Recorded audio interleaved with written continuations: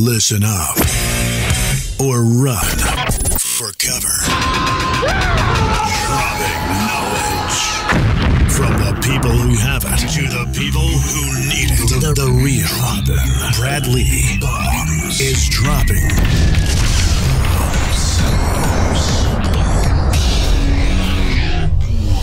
What it is, Brad Lea back again with another episode of Dropping Bombs. Today in the studio, I've got a real, actual badass. David Meltzer's in the house. Welcome, David. Oh, I, I've never been introduced that way, but I love it. I call my 17 year old a badass. So Well, dude, you're a badass. Nobody can argue with that, oh, right? you got you. the you got the stats. You got you got the proof. So, you told me earlier you had your last birthday. So when when did you start being a badass?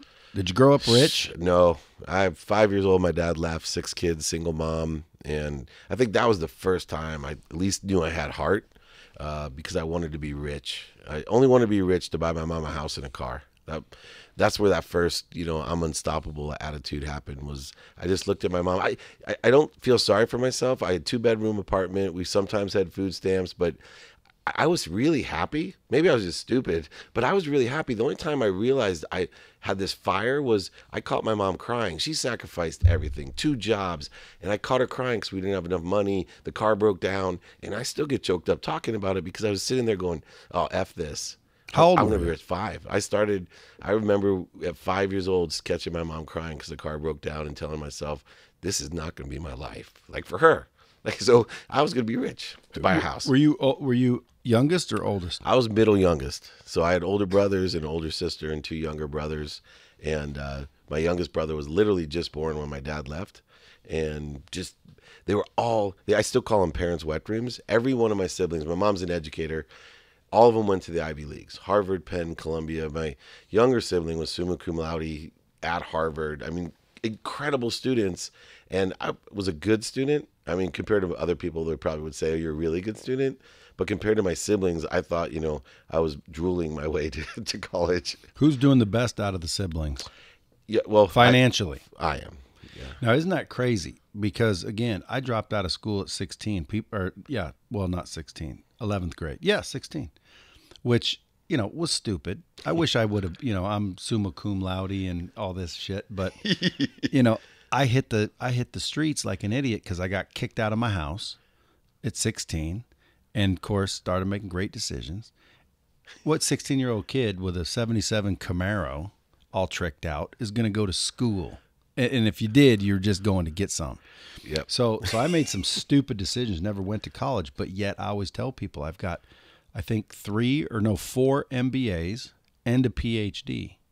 I'll introduce them to you right after we get done here because they're over there in the other side of the building. They just work for me. Yeah, I get it. I'm It's right with you. crazy though. Like, I, is college is an education unless, of course, you're trying to be a doctor, lawyer. Is college necessary to succeed? What do you think? No, I don't think, especially nowadays. I think, you know, attitude is necessary and the attitude to learn wherever you can find those things. Uh, you know, today, You know what that was? yeah, that bomb, baby. Yeah, because listen, this whole thing I forgot to explain because you're probably not a listener. I am, believe it or not. But Oh, good, right. good. Well, what, well, listen, that just means, hey, listen, better listen up, people, because what you just said was important, dude. Attitude is massive, massive. I know someone with the right attitude that kills it, and you know Nick Santonastasso, Of course, yeah, I mentor him. dude. That's a freaking attitude right there, right there. It's a Come, proof. come and see me next week. A great kid. Like, dude, every time someone bitches, me, me, I think of Nick, and I say, dude, sh- STF you, get out of my face. Like, that's the dumbest shit I've ever heard. This dude has a finger; he don't even have a hand, right. Yeah, one finger. And he's running around snowboarding and speaking and writing books, and nothing stopping the kid. That's attitude. Yeah, and that attitude, the reason you need it is because it's not uh, where you get you access your information. It's not where school is a place that you can do it, and some people appropriately align with that type of methodology. For me, I look at two things. One, like Nick, productivity. How much value am I bringing to the world? And then, two, where am I accessing the inspiration and the education that I need? So there's a duality to accessibility, but productivity and accessibility is the lens in which my attitude is focusing on what I want. And that's how I what I believe allow things to happen in my life. And that's why I think financially I'm far more successful and have been twice in my life than most people. So, if someone was out there with a little bit of pain financially, what would you recommend they do? First of all, ask for help. Uh, totally There's different. another one. Like people don't do that. You know what? They're macho, and they've been told you want something done, do it yourself. I say the other day, too many people are out there trying to figure out what they need to learn, and I said the other day, dude, a lot of people don't need to learn anything. They actually need to unlearn something. Their mind or their education or their upbringing has taught them something, and that's what's stopping them from excel from you know from excelling. Yeah, limiting beliefs are created in two ways that create what I call an unconscious competency. The first is gen- genetic, right? We have certain personality traits, characteristics, obsessions, and addictions that we carry down from four generations that limit us. So we have to unlearn that type of unconscious competency. And then we have an un- energetic unconscious competency that is mystic in some nature, but it's really not. We attract by the energy and value that we put out exactly what we put faith into. And if, until we shift our energy and we put faith into something different, we're going to keep getting the same obstacles, voids, shortages, the same people, the same problems, just different faces, different sizes, and different forms. But the same stuff keeps coming to people because they don't understand how their unconscious competency is limiting what they have and that idea of change the way you look at things the things you look at change. That's why for me i go and look at radical humility. I'm going to ask one question of almost everybody i meet. Number one was actually two questions. How can i be of service? Which we met before and i think you get the thing. My initial reaction is how can i help you man? Two do you know anybody that can help me? Now I've exponentially grown help, not to specifically say, look, Brad, I know you're really good at this. Can you help me? But bigger than that, Brad, do you know anybody that can help me, which is inclusive of you. So now I've, you know, millions of people probably. I have exponentially grown my connectivity, my power, my source by asking for help. Yeah, well, I totally buy into that. However, if someone approaches that too quickly, y- y- it's not going to work. We got to bring value. You got well. You we, there you go. You got to bring value and or build a relationship. Because if I just met you and I'm like, you know, hey, you know anybody that can help me? No, yeah, yeah. People be like, uh. That's a good point because I get a little, little bit ahead of myself. So re, re, reality, how do we how do we do that? Right? You have to connect emotionally. Well, you already said it earlier. Uh, I thought you did anyway. I believe you build relationships by helping you, like Right. like being honestly, sincerely interested in helping you. And I and I'm a proof of it. Um, up till I was about thirty, I just wanted to be a millionaire. I just wanted to be a multimillionaire. I want to be rich. I want to have the cars. I want to have the houses. I want to I want to be the cool guy. And all I ever did was worried about me. Now again, keep in mind this is just I'm a normal person. I'm not studying self-help books. Like I had to learn everything the hard way. That's why my book when it comes out, it's called The Hard Way. I like it. It's the lessons I learned the hard way so you don't have to. So I did this like a dumbass. I wish I would have had mentors and coaches and shit. But uh up till I was about 30, all I wanted to do was be rich. And it was all about me. And then about 30 years old, I helped this kid in the back. I, I ran a car dealership. And there was this lot porter in the back, Mexican dude, you know, beautiful wife, beautiful kids, just a cool dude. And I said, Come here, let me show you how to sell cars. Because he was broke all the time right. you know and i'm like let me show you how to sell cars let me show you how to close deals let me show you how to flip flip people to leasing and so i worked with him for about two three months and he started going from minimum wage to 12 15 grand a month. He went on to run the store like make hundreds of thousands a year. Um, but it just hooked me man. His whole life changed. His his wife's life's changed. Their eyes were different. They they walked different. Their kids were more proud and it was amazing transformation. And i went dude, that feels good. And I I didn't even know that I did it, but I just thought, how do I help people do? I want to help people make more money. I'm going to start a training company. I'm going to start teaching people how to do that. And dude, that led to where I am today. And if I didn't do that, I'd probably be some old schmuck freaking car guy sitting there smoking cigarettes on a car lot waiting for the next customer, wondering how I can get rich. Yeah. So it's true, it works. You need to worry about helping other people. And Zig Ziglar, I had the fortunate, uh, I had was very fortunate to work with him a little bit because he's on our platform or was, still is, but Right. you know what I mean. Virtually. yeah, and he's the one that taught me, and he told me, and he tells everybody, the best way to get what you want is to help others get what they want. When he said it, I was already on my journey, and it really resonated. Is that what you're talking about? Yeah, so that quantum shift that I call that, it stems from three worlds and understanding how this works. And this is how I ended up losing I ended up losing over a hundred million dollars because I had that same attitude. Wanted to be rich, everything was for me. Now, I thought it was better than everyone else because I saw people as victims. I used to say, that guy lives in a world of not enough. I live in a world where it, everything can come for me. I, I know if things seem hard, it's just for something better's coming for me. But there's only so much of me. What you just explained is the key to life. And it's the idea that I live in abundance. I live in a world of more than enough where everything comes through me for the benefit of others. When you understand Hmm, that, like that. when you become a vessel, when you become a vessel, the, the universe isn't even big enough to contain what you can have come through you. There's only so much of you. That's why Well, most how do they decide who gets to be the vessel?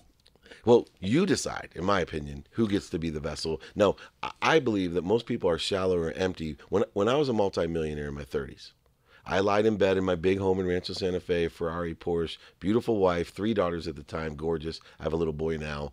But I remember sitting for the first time in my life and looking at the ceiling going, "Oh shit. I'm unhappy." I my whole life I never had this. I could buy whatever I wanted whenever I wanted. And so I started buying more all for me. So, so what's your question about? Does money buy happiness?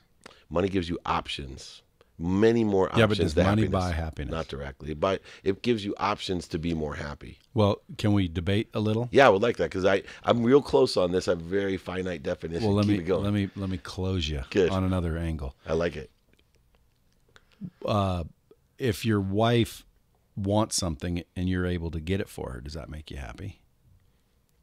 When my wife wants it, sometimes, yeah, it does. If your children want something and you're able to get it for them, does that make you happy? if I have the capability of giving it for him, yes. Doesn't mean I have to give it to him. Yeah. No, no, we're not talking about that. Okay, good. Because Yes. like I having just, the capability, I just think to myself because I'm a literal guy. Sometimes, sometimes I I, I am I am called literally I like that. because it's just Not literal. ugly, literally. It's like Gary Vee, dude, and the patience thing. Like he says you should have patience. Dude, I totally disagree, but I know what he's saying. What he what he's trying to say is things take time, you have to understand that. Great, that's not patience. Patience is the ability to experience challenge, delay and suffering without being upset. Who would want that? Like dude, if you're delaying me, I should I shouldn't be just chill about it. If you're if you're impatient, people think that's negative. Impatient simply means you're, there's urgency. right. Well, dude, you want urgency. With action. I think you should be You patient. increase your actions. Right, patience perspective wise, but your actions should be with complete compelling interest. There you go. Right? Well, you you just have an eloquent say, shit Yes, I- way of saying exactly. shit. I, I, Same went- thing. I accessed my information at those schools we hated. yeah.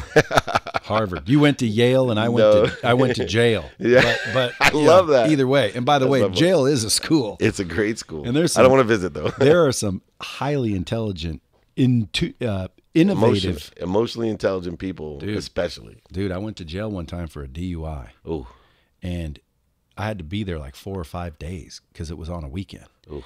And there were people in there figuring out how to get this note six cell blocks away, or you know, it was like how the hell. And they figured it out, and it's like, dude, this one guy came up wants some apple pie. I'm like, where'd you get apple pie? I made it in. The, I made it in the microwave. I'm like, tell the truth, right. and dude, this dude went around collecting people's apples that they didn't eat. Next thing you know, he's doing something. Boom, he'd baked up like an apple pie, an unbelievable apple pie. That's Sk- awesome. Hey, dude, jail, just like selling cars. Dude, that's a boot camp. People always say, should I sell cars? Shit, yeah. Like if you don't know sales, sales, I selling agree. cars is an unbelievable boot camp. You get all the hard, you know, thick skin, rejection, all that crap.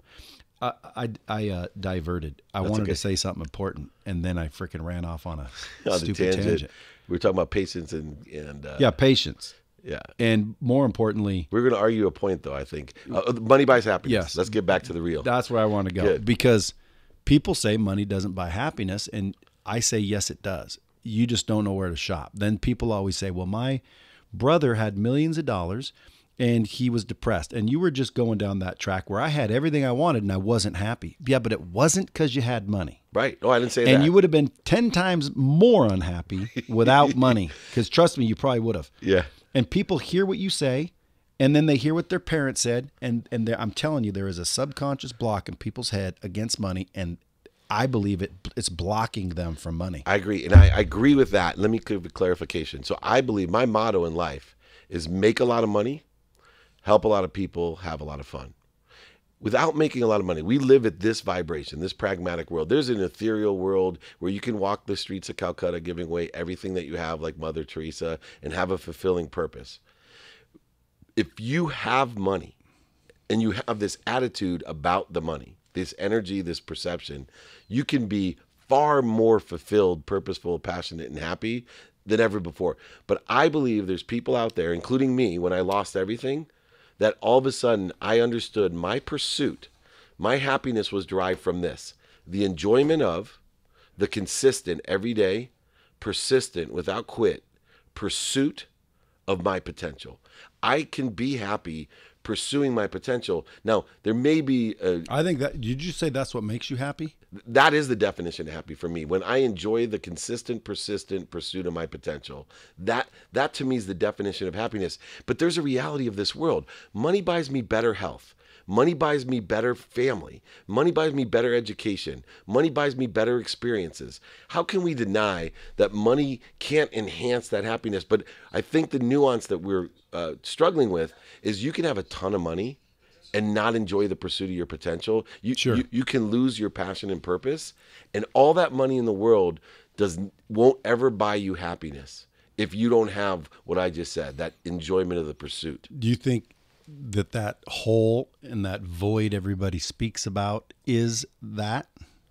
I, I I think the void is about putting faith in the wrong things. They don't understand ego and the trajectory that they're moving on.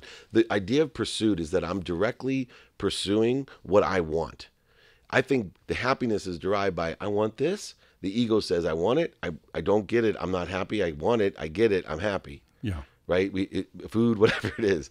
So what happens to people is they allow void shortages and obstacles, the ego, the need to be right, the need to be offended, the need to be separate, inferior, superior, fear of loss. You can be completely wealthy living in Newport Coast on a $40 million home and still be living in a world of just enough or not enough. Yeah, I've met those guys, and so have you. And they just can't be happy. But I agree with you. If they didn't have money, they'd be far less happy Yeah. on, on the scale of happiness. Yeah, well, I ask, you know, what what what makes me happy? It makes me happy to get my kids things that they want and that, you know, probably most parents cannot afford to get them. Most parents. Obviously there's and by the way, I don't even believe this 1% shit. You should see the neighborhood I live in. I'm always wondering like is the whole 1% live right here? Right in your neighborhood. Everybody's rich, it seems. I can never find this this 99% where everybody's broke. Like where are they? Right. They're not at Topgolf. They're they're you not live in Vegas, man. I'm just saying, like, dude, it seems like go to, Mis- everybody. go to Missouri. I had a friend in Ohio who told me he has a twenty-five thousand dollar house. Well, dude, here's my question there. Then why why don't they move out of Missouri? well, Thank I don't you. I don't have any money. Well, that's because you live in Missouri. Like hitchhike out of there, end up somewhere, and and because dude, you could put me on a couch. I agree. I'll I'll make it again. Because only one human being on Earth loves change, and that's a wet baby. People are so afraid of change. good ones. dude. It's so afraid. Hey, he's a good one. It, it He's is, got though. his good ones. They- they- yeah, I've years years of loading up the arsenal. Well, let me convince you with the happiness, or Yeah, at least please. state my case. If you if you use money to get better health care, better holidays, better vacations, better clothes, better seats, better food, you're able to get your kids and your loved ones better things. The smile on their face that makes people happy, and I believe the highest form of expression for love is is buying somebody something or giving somebody something that they couldn't normally do. So, for example, um, you, you you love somebody and you find out they have cancer. They're scared. You comfort them and get them the best doctors on earth. Like that to me, giving that is the highest form you can feel. The uh, like that's the best. I always use, you know, gifts for some reason. I I think would. I'm- I think- Giving's the highest highest vibrating thing on earth. It's the highest truth because, and I'll tell you how it's verified. The human body secretes serotonin when you give, which makes you happy. A, a biochemical reaction occurs in your brain. When you receive, serotonin is released, and it's so powerful that anyone who witnesses giving, serotonin is released. A biochemical action from witnessing giving. That's why you're stuck, and I agree with you.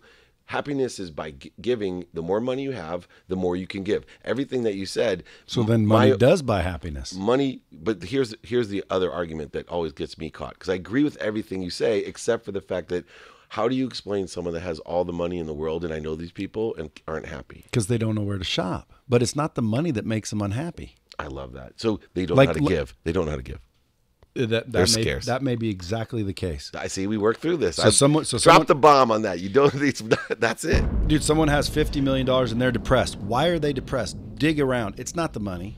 It's the lack of giving it in your in your mind. Yeah. It's the lack of Or shop. Where to shop. I love that of- analogy. Yeah, like what would make you happy? What would make you unimpressed? Undepressed. Well, you know, I like skiing and I haven't skied. Well, then go freaking skiing. Like, what's the problem here? you have all the options But people will quick to point out that that guy's got money. He's depressed. So money doesn't make you happy. Yes, money does make you happy. It just doesn't guarantee you happiness. it doesn't teach you where to shop to make you happy Yeah. Yeah, So that's a good so point. Yeah. So I want to I want to like get people to unlearn. Like I'm going to let all the other gurus teach what you need to learn. I'm starting to think, how can I break away from the pack and like be different? Maybe I'm just going to teach you shit to unlearn. like money doesn't buy happiness. My whole coaching practice is based off of shifting energy, change literally the limiting beliefs that you have, unlearning the ego, and living your true self, your authentic frequency that involves making a lot of money. You know, that's literally I've trademarked this thing, making a lot of money, help a lot of people, have a lot of fun, which now makes even more sense to me with your explanation. Why is it so important? Because you can't give what you don't have. And that's what makes us happy. The more that I have, the more that I can give, not just to everyone See, else, but more people. It's factual. What about what about if you want something done, you got to do it yourself. If, if you include asking for help as doing it yourself? Yeah. Yeah, but do you ever heard that? You Yeah, want something done right, you got to do it yourself. Yeah. Oh God, that's a that's a limiting belief. My dad and grandpa used to tell me that all the time. You, you do something wrong, God damn it, move over. Want something done right, better do it yourself. I'm listening. I'm listening. And now, for a long time, I had struggles scaling because I believed if gotta you want something done right, you got to do it yourself. You ain't got to do it yourself. That's stupid. Matter of fact, that will limit you big time. You know how many people are out there like that right now? Oh, I was on the phone the other day with somebody. I I, I was giving them a solution to scale. You know, they don't. They're not making enough money. Well, well, what do you tell me about it? Well, why don't you hire a salesman? I don't have the money for that. I'm going to take kids out of my. I'm going to take food out of my kid's mouth. They said. I said, what do you mean? First of all, a good salesman, all they need is commission. You don't even need to pay a good salesman. Right. Okay. You just give them an opportunity and let them take a piece of what they brought you. So you don't even need money, number one. Number two, why do you think hiring a salesman is going to take food away from your child? Like you, you must think there's no more money out there. The food is limited and this is all there is. And that's why it's limited. And we started talking and the whole mindset of law of attraction. I said, here's proof that it works. Because people that think it works, it works. And the people that think it doesn't, it doesn't.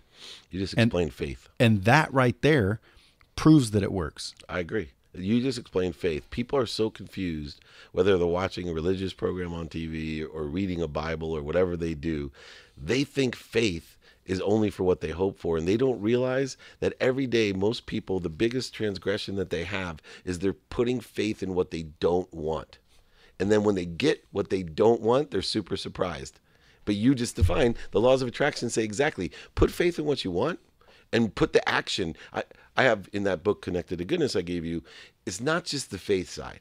It's I believe in the law of attraction, but I also believe in the and John Assaraf taught me this, the law of Goya. You ever hear of that? The law of getting off your ass. You know, when you when you, when you just said that, the law of attraction is not possible without action. Yeah. Because attraction Yeah, the law of Goya. Look, he's in. he's trademarking it right now. He's exactly. like, that is good. I just thought of that when you said attraction because it does take action. But guess what? You have to believe first because I know people that don't believe and they'll let opportunities bypass them left and right. all day long. There, there's a saying out there that says um, a genius, or no, um, somebody will hit a target and that no one can hit, but a genius will hit a target no one can see. And that I believe the law of attraction or the lack thereof is part of that reason. I can walk into a room and recognize 16 opportunities where the people in the room are wondering when's the next, you know, paycheck coming. And I'm like, dude, look at that, look at that, look at that, look at that. I can see opportunities left and right that people don't even pick up on. How do you explain that? It's simple vibration. It's awareness. So here's the way physics work, and this is where accessing certain information, my clarity came. Is why could I see things that nobody else could? Why is it the universe loves simple? Why? Why, like Ferris says, right? Look for easy. You know, why am I seeing easy all the time? Because what I realized through tutelage and meditation is that if I could increase my vibration, the truth is the the fastest vibrating thing, right? The, uh, this desk is minerals slowest, then plants, animals, humans, sound, light. Thought vibrates the fastest, and the thought that vibrates the fastest is the truth. So if I'm pursuing my truth, my potential, whatever it is, my I'm elevating my vibration. The people around me vibrate faster. The reason this is important is you can only be aware of that which vibrates equal to or less than you. And so when Brad Lea walks Say that one more time. you only can be aware of that which vibrates equal to or less than you. So if I'm pursuing and expanding my own vibration, I'm, big. I'm improving myself, I'm more aware. And aware, awareness to me is the most powerful gift that I can give because why? If we're truly aware, we both could be billionaires tomorrow because we would know when to buy or sell something. So we're both bright enough to ask for help. Hey man, I know gold's going to go down tomorrow. I know it because I'm completely aware. I know it's the truth. I trust me. You and I can make a phone call right now, right down to the strip to some guy, and he'll tell us exactly how to make a billion dollars, knowing that it'll go down. Well, what we have is a heightened sense of awareness so that while everyone else around us is living in a scarce world of not enough and they're looking day to day with limiting beliefs and unconscious competencies, you and I see with clarity, balance, and focus and confidence, dude, all you got to do is this. Why don't you see it? All you got to do is hire a sales rep or you know, create a co-marketing agreement or like with sponsorship kills me. It's one of the core businesses I have. I'm like, don't you understand? Stop trying to get a job selling sponsorship. Go and find a sponsor and take it to the any tell them I can sell anything in sports. Right now, I can sell you signage on the new stadium. I don't work for Legends, but I promise you, if I had a car dealership that wants to give me a million dollars, they'll give me 20% for bringing them over there to Levitt. Who's going to turn down? If someone brought me business right now and said, Melts, I got a coaching client for you. Give me 20% of the deal. At full price? Yeah, sure. right? You brought me a deal. People can't reverse or see that simple awareness of if you have the value and bring it, ask for a commission on the other side. You know, it's funny that you say that. I agree with you a thousand percent. I was explaining to a bunch of people that had no hope of ever getting out of, you know, the ghetto. Mm-hmm. They were out of work, out of this. I said, listen, walk into a mall and introduce yourself. Ask someone what they do, and I'll bet you 50 bucks you'd walk out of the mall with 50 opportunities. They go, what do you mean? I walk up to an individual, hey, my name's Brad, what's yours? Joe. Joe, what do you do? You know, I sell sponsorships. If I could bring you a sponsor, could I get a piece? Of course. Okay, now I'm now I sell sponsorships. Right. What do you do? I groom dogs. If I brought you some dogs to groom, could I get a piece? You could literally introduce yourself at a freaking mall and have a job and have an opportunity. They're everywhere. Opportunities are everywhere. Quick question. Where did you learn this quantum physics and all the stuff you know? Yeah. Is that what they're teaching at college? Because damn, maybe I should go. no. Uh, this is what happened to me. I, I was surrounding myself with the wrong people, the wrong idea, and I met this medical doctor who explained vibration and then asked me. what And this the- is scientific shit. This Yeah. isn't you Oh. believe it or not. It, it's a fact. Right. I, I my wife was very spiritual. I didn't believe in that shit. I used to tell people I came from nothing and I have made everything that I have from me for me. I'm in control of my universe. I'm I don't have time to meditate. I'm on a plane and this You medi- meditate now. Yeah, 20 minutes a day. Uh, I hear it's good for you. yeah, it's good. Uh, find I, the word meditation may be confusing to some people. What I tell people every day, you should find your center. I don't care what you want to call that. If, if it takes breathing six breaths or just give a moment to know before the day starts, this is the balance side of my hill. And if things start rolling downhill, all it takes is a, a finger to pull the car back up and hold it at the top. But what happens is people don't know where the center is. So when the car starts flying down the hill, they wait till the end of the day to stop the car and they wonder why they're run over every day. Me, when things go off center, I take a second, I put it back to center, then I start making my decisions instead of snowballing all that negative energy. So what if so, so like if you get pissed off, you just say hold on a moment, I try. bring yourself back to center. As then- quickly as possible, I try. Now, there's moments like if you have teenage daughters like I do and you come outside, I wake up at four in the morning every day and uh, her car's missing, you know, Or worse, their car's there with Billy's car. Yeah, that would be worse. Exactly. But you know, it took me a little while to say, okay, why? Because I was going to call and scream. I, you know, I was going to panic, and I said, wait a second. Why do I feel this way? Yeah. Right. And th- this is long. T- t- this is, did not happen overnight. There's no BS. I still, I get pissed. I lose my mind. My wife looks at me and goes, "Oh, Mister Enlightened, who writes all the books about being at peace. You just said that to me, you a hole." Yes, I'm human. But my goal is to, as quickly as I can go back to center because I know at center I have that clarity, that awareness that you and I are gifted with. And if I'm off center, as you know, as, as much as you have awareness and power, when you're not at center, when you're frustrated, angry, fearful, man, you can't do what you do. That's that's good stuff. I want to talk about those books too. Second question: How?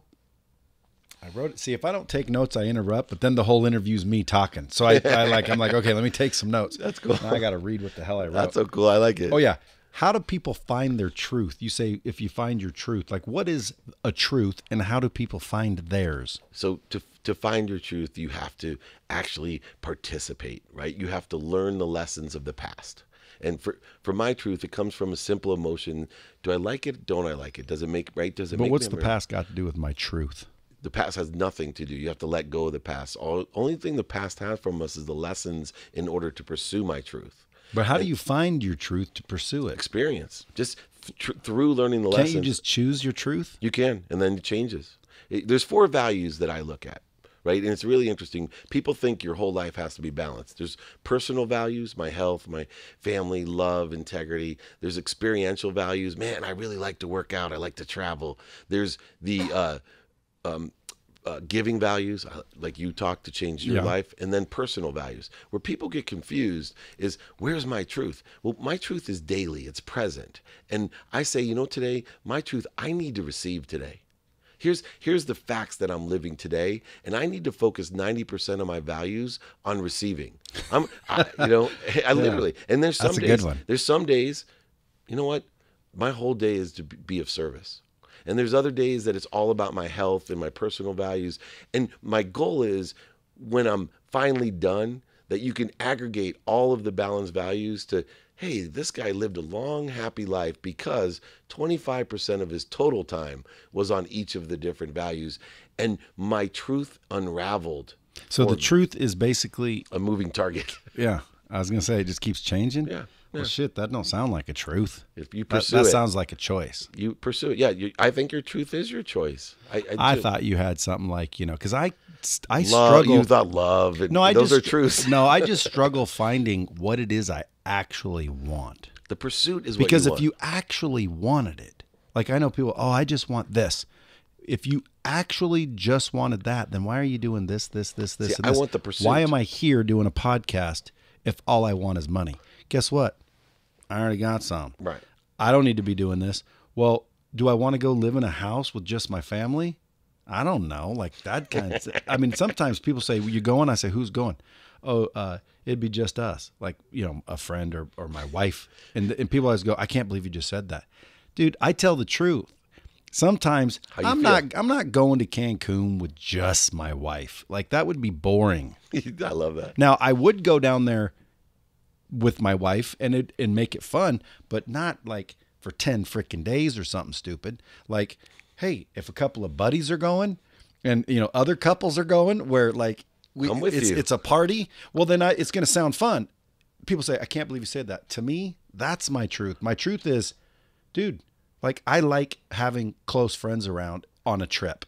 If it's just gonna be me, my wife, and my two little girls, um, It's boring. well, uh, or, or let's make let's make it short because, dude, after a while, like who the what's going on here? I Like, love your truth. I love your truth. it- but is that a truth? yeah, it's your truth. So uh, here, So what's my truth? like for me, the, the, for me, it's not about what is the truth. It's the pursuit of it, right? So if I'm constantly inspired to pursue my truth, it doesn't matter if it's money, it's your house, your kids, whatever it is, and my pursuits change every day. You know, I what's your truth today? You know, well, my wife is here with me. See, we but we got to we, we need to change that word because to me, a truth is a constant.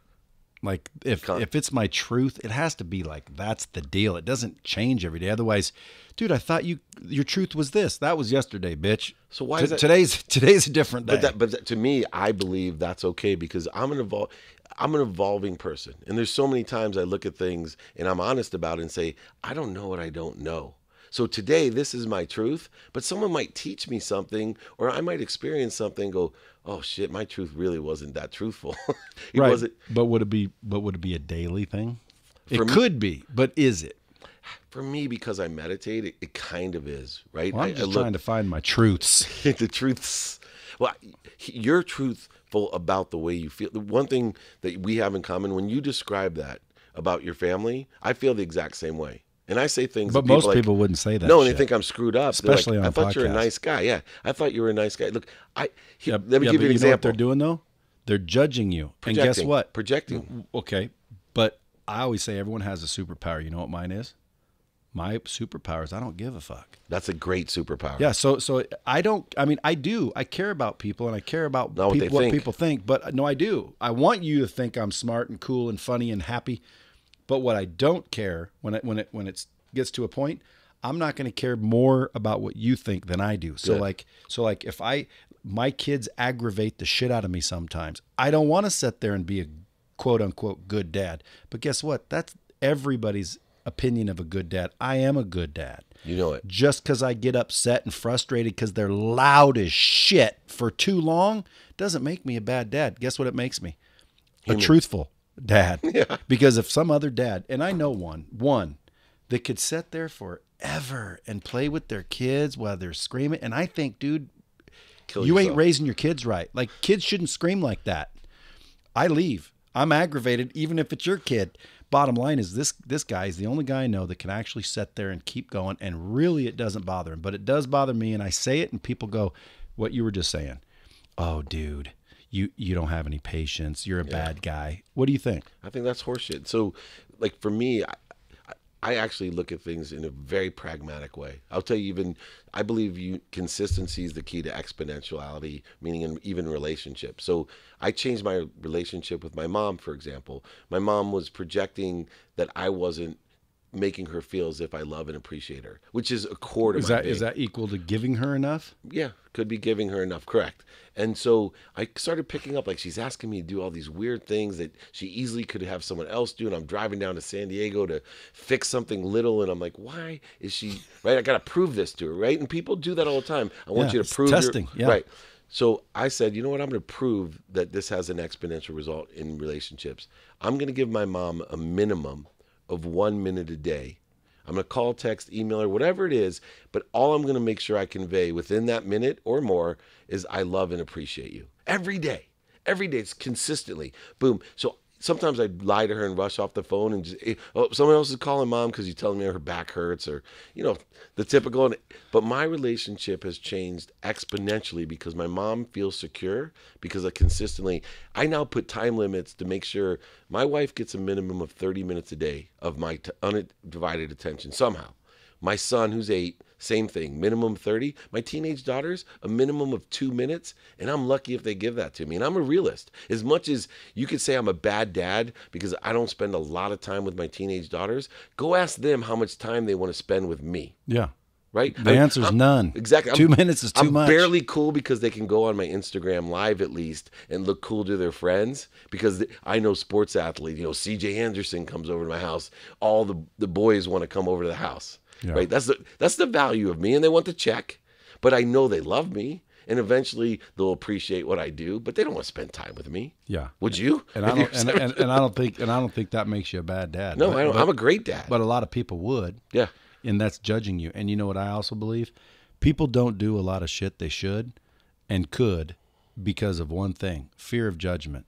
Yeah. Fear in general. Like, I'm not going to say this. You might think I'm a jerk. I'm not going to say this. I might lose, and everyone thinks I'm an idiot.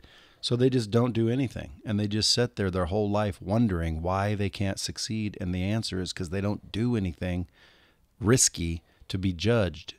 And I don't even think they sub, I don't think they consciously know what's happening. You're right. I, and it's funny, Leigh Steinberg, who was the Jerry Maguire character that we asked about earlier, right? Famous, famous sports agent. I was blessed to have him as a mentor to run his company. But I started speaking, and I told him, man, I'm, nervous. Like, what are these people going to think? You know, am I wearing the right thing? Does my hair look okay? And he looked at me and said, Dave, just remember this. The only thing everyone's thinking right now is, oh my God, I wonder what everyone else thinks. Am I wearing the right thing? It's true. It's so powerful. But yet we create this illusion that everyone really gives a shit. And if they do give a shit, they're just projecting their own problems onto me. which which that's where my IDGAF comes from. So so people because I'll walk out on a stage, bigger the stage, the better for me. Like I feel dumb in front of nine people more than I do nine, love that. ninety thousand. Right. Like if it's ninety thousand, I'm like, yeah. I love that. But I'll walk out on any stage, and it's mainly because I'm not afraid of being judged. I've been judged my whole life, and guess what? Doesn't mean anything if you have integrity. If you're a piece of shit, unethical scam, you are a freaking liar, you're a cheat. Well, I think that is when it starts to bother you because what if they all find out? Yeah. but I walk out with pure intention, pure, you know, I'm I, I know I'm a good dude. I don't I don't need you to tell me I'm one. So when I walk out there, I'm like bing bing bing. Now sometimes I leave and go, damn, I forgot to say this, and geez, I stuttered and sounded like a dipshit there. that's me judging myself. Yeah. but that's because I like to Be better. But but walk out on stage, I don't like it, or I mean, it doesn't bother me.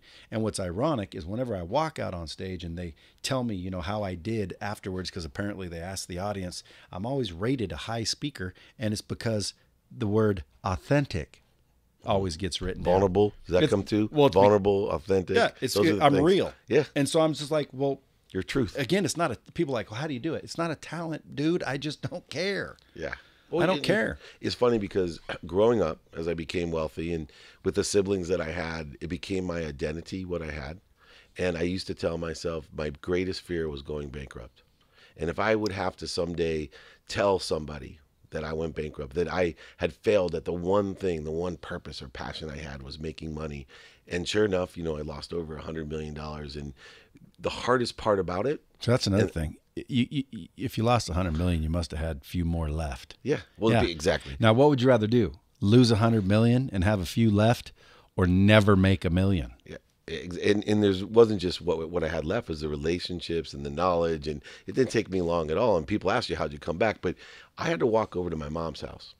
This was the defining moment for me of understanding my, my own being. I had to walk over to my mom's house. My greatest fear and embarrassment, and this is where the shift happened, where I decided I'm going to illuminate the truth about me, and I don't give a shit what other people think. Is because I walked over to my mom's house. I'm going to choke up, and I had to tell her I went bankrupt. The only reason I wanted to be rich was to buy her a house and a car, and I now had more than I ever dreamed of, and I had to walk over, right? And I had to tell her I also made one other mistake. I never took her house out of my name.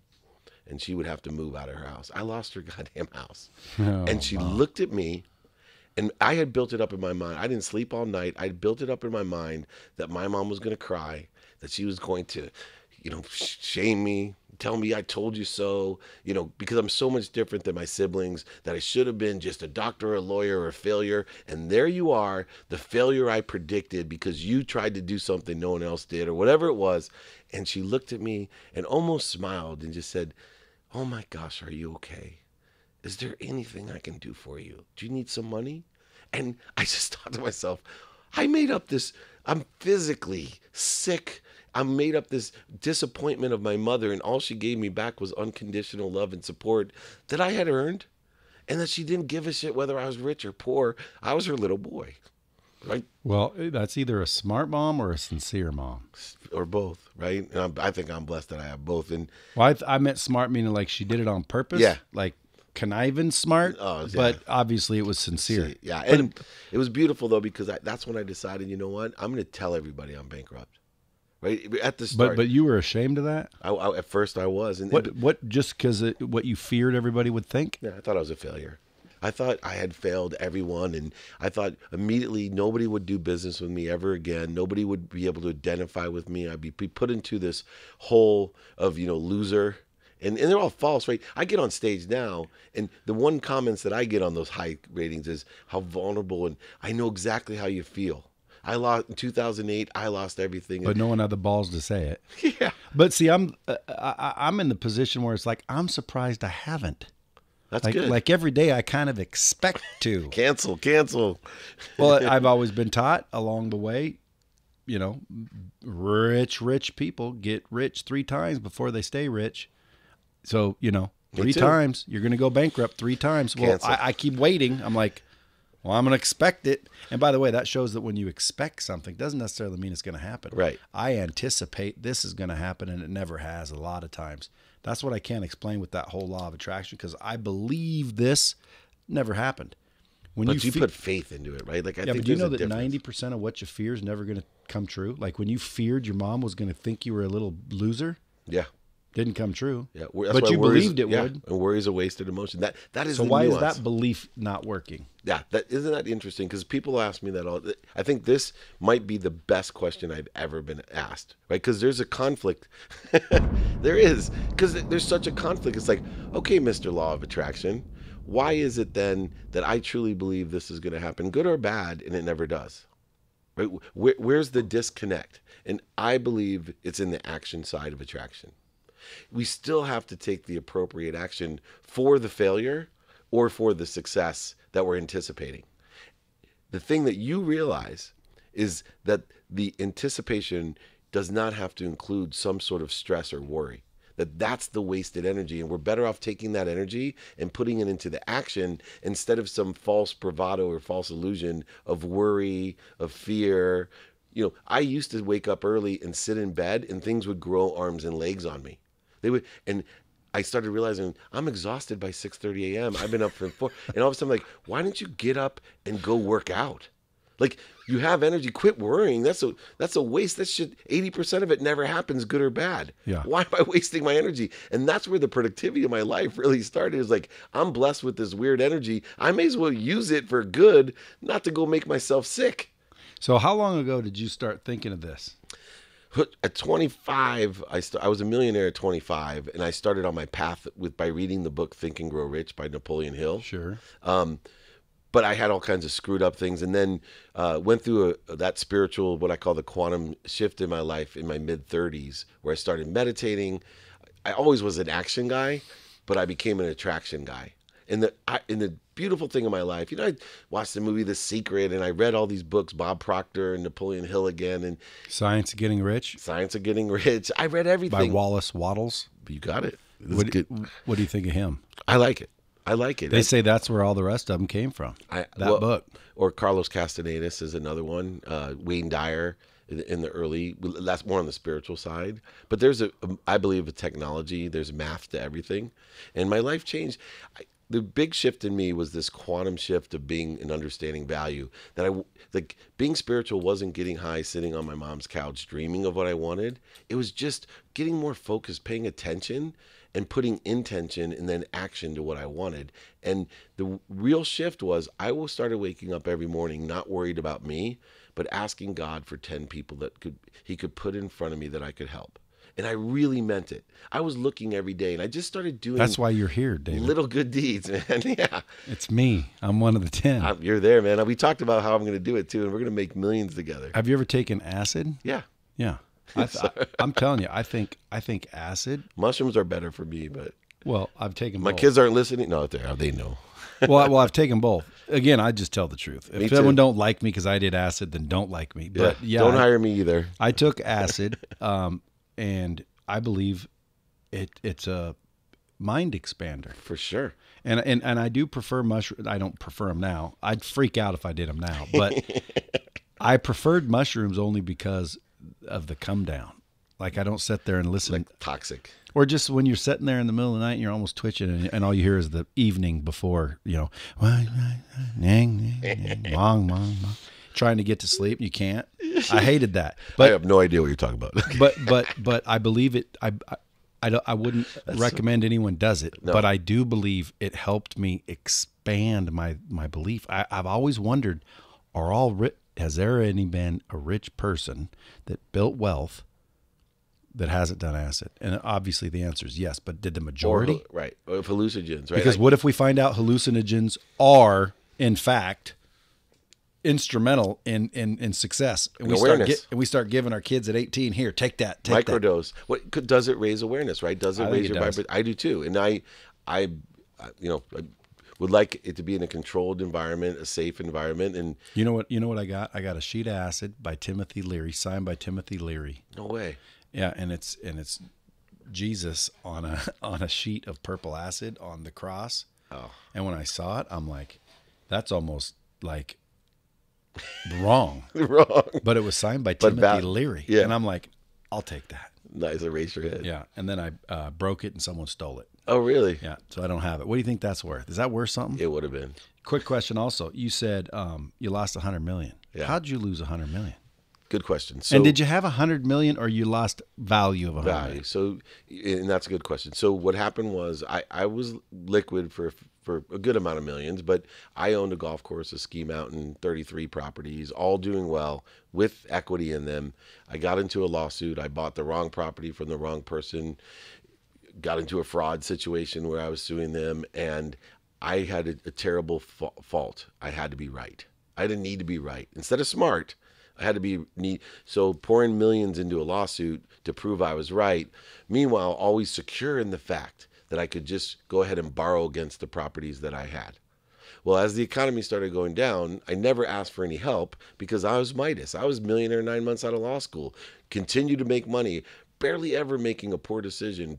You know, stocks that I bought, you know, it all averaged out. I was doing so well. My golf course, I got so lucky. Sam Snead's only designed golf course. He dies right after I design it. 2,000 acres in Virginia, eighth best golf course in the nation. You know, shit was just flowing. Well, I go to the bank, right? I'm out of cash hey, I'd like to borrow against this. You know, I have all, all this. The golf course alone was valued at over 120 million alone. But you know, hey, I, I need five million. Oh no, sorry. Whoa, what do you mean? You know, I mean, I- I'm in my 30s. I really don't have any true education or help. I just have experience. And I always thought if you have equity in a property, banks had to get had to give it to you. This was fatal. To? Yeah. Yeah, I went to law school. What a moron I am. Like I never I just figured why wouldn't they, right? I didn't understand Well, I would the- I would believe the same thing. Why wouldn't they? Right. Why, Why wouldn't they? wouldn't they? Because properties are going down and the banks are failing. And why would they extend credit to you when you owned all these other properties and they're worried about your liquidity and right qualifying for the loan wasn't like when you qualified Well, because the first time. be, well, here's the answer. Subprime lending. No, but here's the answer. Because if I default, you can have the property. exactly. They made money off of me. I, I went bankrupt and people made tons of money. I- Yeah, but I would think a bank if I had if I had a diamond that was worth thirty million to somebody, but not at the pawn shop, well then it's not worth thirty million. Like, but if you can go anywhere and get a million for that, it's worth a million. Right. So I always see that as equity in a house. So so maybe it was the similar to the well, who says there's a million equity? It, well, it was But I a would have little bit of that. never, I would have never guessed they wouldn't have lent you the money either. And then when I went looking for it, my credit and the fear went up, right? The economy kept going down, properties kept going down. And as I was hitting my credit and asking for money, I looked more desperate and I still had a huge nut, right? I had huge flow that I needed. So my cash and then, you know, where everything was moving, I, I had some credit, right? How how important is cash flow? so important. If you Starts if, to get scary. if you're not cashing up right now, if you're not cashing up, Sidney Frank, I worked with, he created uh, Grey Goose Vodka. He told me the best thing I ever heard. When the guy shining your shoes starts giving you business advice, stock advice, house advice, sell, cash up, right? And that's what's happening right now. I got, I do, you know, the elevator pitch show with people pitching me ideas, and I have two funds that I'm in. I get a lot of deal flow and watch a lot of companies. There's companies coming in front of me. Four, we, we've already raised four million dollars, and I literally can tell you that they're going to fail. They haven't thought through, and money is flowing. It's time right now to go cash up so you can either buy property or businesses or whatever it is in a few years When from it now. tanks. When it tanks, because it will. I've I've been here twice now, and I'm not tanking this time. What about Bitcoin? I'm not a big fan. I'll tell you why. Because I don't have enough time to truly understand it.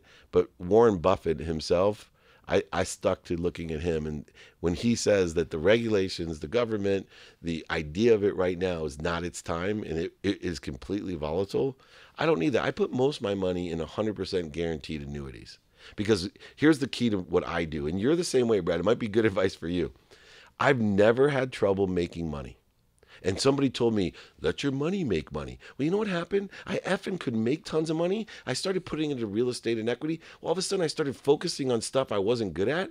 And now I'm spending all my time worrying and analyzing all these real, like all this stuff. And I'm like, moron, all you're good at making money. What if you just focus on tw- making twice as much as fast as you can and putting it away in something that was guaranteed and just letting that grow at at a nice compound rate? What's a nice compound rate? You know, for me, I I buy IULs, which is two percent guaranteed, no matter if the market goes up or down. Has upsides of about sixteen percent when the market was doing well. But here's the kicker that most people don't understand: it has a reset. So I actually will do better in the next two years. The market may drop significantly, and I'll get two percent each year. But since it's reset, I now can get the whole upside when it recovers. So those are the types of things that I look for. So if I can make five, six percent on average, but over here double the amount of money that I make twice as fast by making money, how much interest am I really making?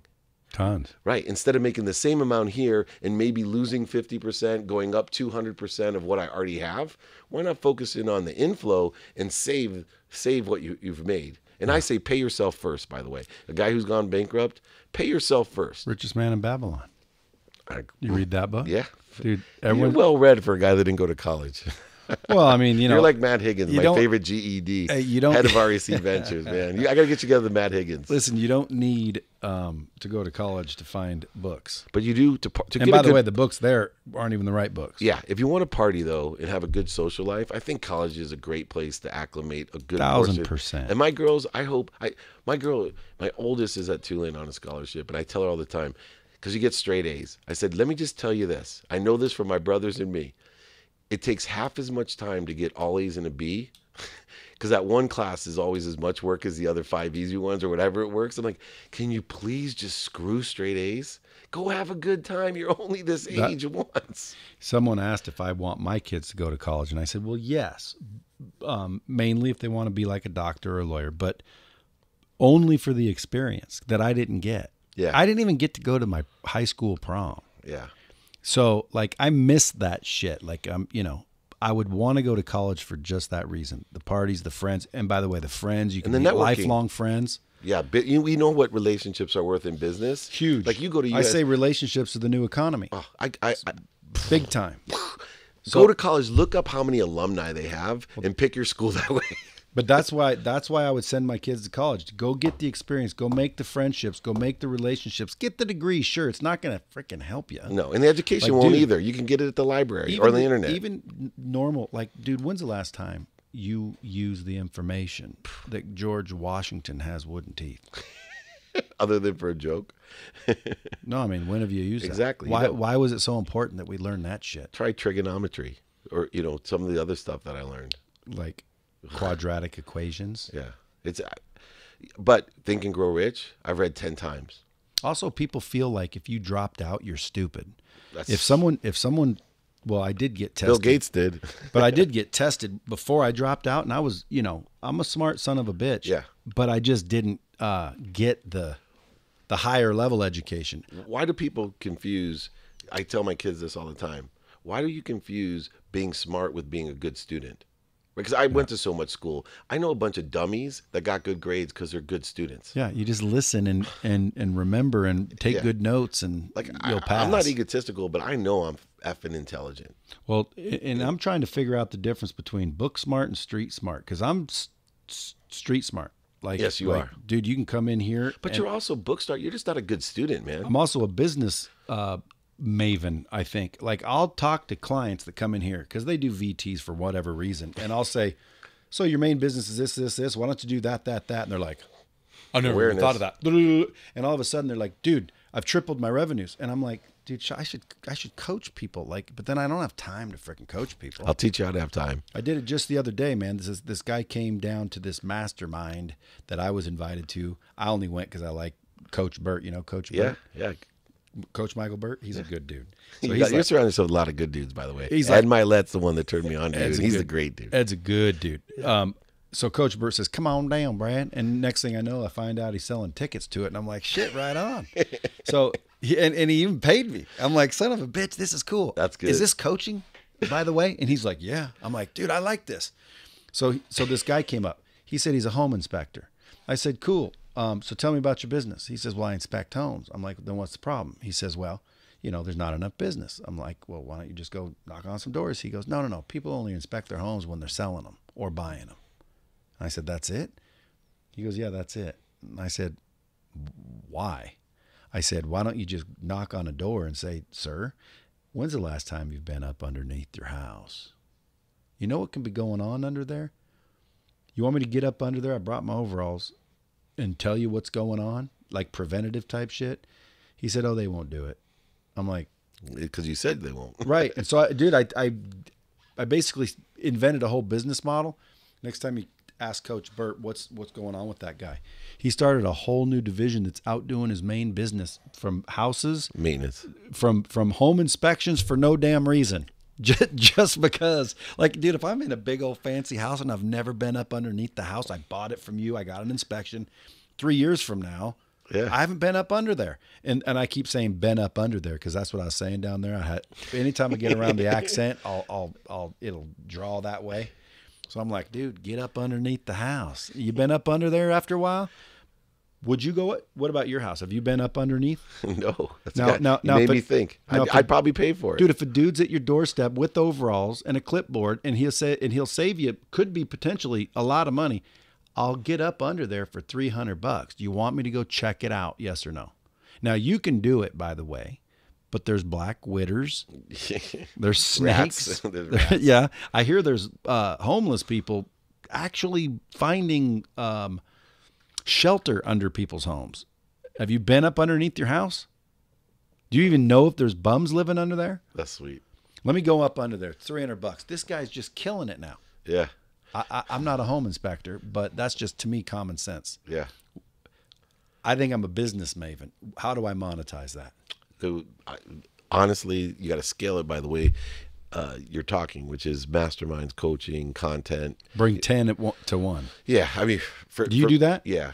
How do people get more of you? Because I know what they're going to do. They're going to hear this podcast and they're going to go, dude, I like this dude. Where do they get more of you? at David Meltzer uh, and dmeltzer.com, first initial, last name. Two great places. Uh, You know, LinkedIn is easy, but I'm pretty uh, pretty accessible. The thing is, I do really want to be of service. So even with my coaching, Brad, this might sound weird, but you know, when I find someone that's capable of number one doing the work and paying me a value to work with me, I always work for free for a month. I do an assessment. I don't believe even if you came to me and say, Dave, I want you to coach. Yeah, you're me. hired, bro. Exactly. All I ask is you make a donation of any size to my charity. Uh, same thing with my books, right? I, don't sell my book. I give it away and I pay for shipping because I know if I can understand and align with you that I can do the two things. I can teach you to be consistent. I have relationship capital I can help you with and situational knowledge to change your life. And the more lives I change, I trust those laws of attraction through my action that more is coming to me. I And- believe that. And it's wonderful. Folks- and you would be great at it. Well, folks, if you're listening, he just said he'll give you his books and pay for shipping. Most of those guys will be like, "Hey, I'll pay for the book, you pay for the shipping," and then you find out the shipping's ten bucks. It's like, bitch, it doesn't cost ten bucks to ship that book, Yeah. right or wrong? You're right, and it pays for the book, and they're making Well, money. who's that stupid that they think shipping a book is ten bucks? and how do the people? Which means they're making money on just shipping, and the, you know it only costs them a couple bucks to print the damn book. Yep. And how does it make you feel though? Like what I don't understand. You'll pay guys- for shipping. Yeah. What if a million people? Because you know, seven billion people download this podcast. I every hope so. I got I got plenty. There's 16 people in Somalia that don't listen, but I'm gonna get them. They get ebooks. That's out of, out of the country, you get ebooks. I don't ship out of the country. but in, in the U.S., you'll ship out books. Every Where do they go to request that? they go right right to usually DM me my LinkedIn or they go to my website and put a request in Folks. at dmeltzer.com. I'd get these books. I I mean, I'm telling you right now, the dude knows what he's talking about. He's not only, you know, apparently knows what he talks about. He's proven it several times. Twice. So I know you got a jam. Otherwise, I keep talking because if you want to keep talking, I will. But We'll be he's back. starting to look at his watch. I know right. you're on a schedule. Yeah, we got to go meet your good friend Daymond John, who I'm convinced to use Lightspeed. By the way, He's already on it. oh, see, there we go. Yeah, you're I'll too just late. he'll convince Yeah. me. Convince- he'll yeah, convince, convince me. you. Right, I'll ask him. I don't know if that's a good idea. Yeah. I'll convince you. Oh, you just you give me did. when you're ready. All I want is an opportunity. But, it, I, but I already know by the time you're done seeing it, there's nothing else like it. It'd I've it- seen it- what I've seen. I'm super impressed. yeah, it would be. It would be. There would be no question. And now, and now, I'm a, I'm a, I'm gonna change the business model where now I'm gonna make it a no brainer because I got a secret plan. I'd like to run it by you, but listen, folks. Go get his books if nothing else. Follow him on Instagram, social media. Hit him up with a hashtag Bomb Squad to let him know that you came from here because I had to beg him to come in. he didn't think anyone was going to frickin' do anything. He thought, who in the fuck is Brad Lea? And so, and by the way, anybody that knows David that's listening to this podcast, I apologize for the for the cuss words. And until next time, take care of yourself and help other folks. Fair enough?